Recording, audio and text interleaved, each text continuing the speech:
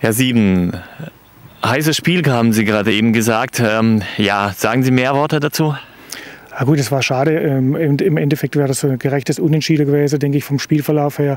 Meine Mannschaft ist halt noch recht jung, die musste einfach äh, entscheidende Sachen abstellen. Gerade bei Standardsituationen in der 88. Minute kann halt kein gegnerischer Stürmer frei vorm Tor stehen. Das war letztendlich heute haben wir dem ja, der Jugend Tribut zahlen müssen.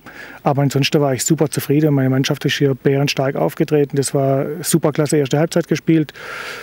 Äh, ja, mit einem Punkt hätten wir uns belohnen müssen.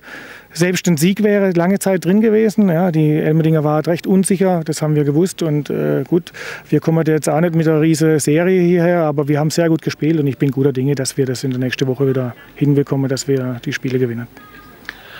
Was hat es oder hat es eine Rolle gespielt, dass Sie diesen Club, diese Mannschaft mal trainiert haben? Nein, für mich nicht, nein. nein. Ich denke, äh, für den Gegner denke ich auch nicht. Die Geschichte ist sechs Jahre her, wir sind, da sind wir durch. Also der, wo da noch ein Problem hat, der tut mir selber leid. Ja? Ihr nächster Gegner ist äh, Mühlhausen. Haben Sie schon über diese Mannschaft nachgedacht, über diese Begegnung?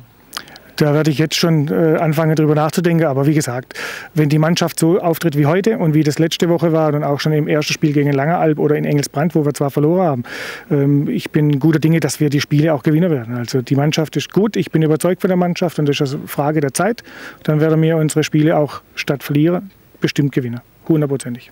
Und wo sehen Sie sich dann, ähm, oder sehen Sie irgendwelche, äh, setzen Sie sich ta tabellarische Ziele oder andere Ziele insgesamt? Momentan äh, ist unser Ziel einfach, äh, wenn wir ins Spiel gehen, eine gute erste Halbzeit zu spielen. Und in der zweiten Halbzeit ist das Ziel, eine gute zweite Halbzeit zu spielen. Und am Ende hoffen wir natürlich, dass wir genug Punkte haben, um äh, irgendwie einen einstelligen Tabellenplatz zu bekommen. Und das bin ich felsenfest überzeugt, dass wir das hinbekommen. bekommen.